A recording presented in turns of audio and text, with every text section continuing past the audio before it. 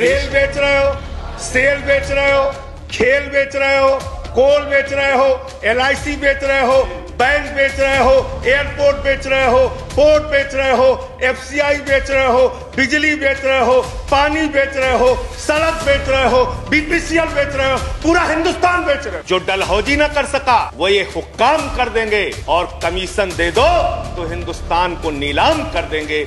इस देश की संपत्तियाँ, किसी की निजी संपत्ति नहीं है, इस देश की संपत्तियाँ, हिंदुस्तान के 130 करोड़ लोगों की संपत्तियाँ हैं मान्यवर। ये रेल, ये सेल, ये बीपीसीएल ये एल ये बैंक, ये एयरपोर्ट, ये किसी की निजी संपत्ति नहीं है, बल्कि हिंदुस्तान के 130 करोड़ लोगों ने अपने श्रम से, अपने परिश्रम से इन कंपनियों को, इन संपत्तियों को बनाने का काम किया है। वो लोग सपूत कहलाते हैं, जो संपत्तियों को बढ़ाते हैं, वो लोग कपूत कहलाते हैं, जो संपत्तियों को बेचने का काम करते हैं। कपूत सरकार चल रही है सर इस देश के देश को बेचने का काम कर रही है। देश की संपत्तियों को बेचने का काम कर रही है। सर, मुझे समझ में नहीं आता, सर। मैं बहुत परेशान हो जाता हूँ। मैं कहता हूँ, अंग्रेज़ों को दलाल, पूरा इनको लग जाता। है ये क्या है, सर? ये क्या है?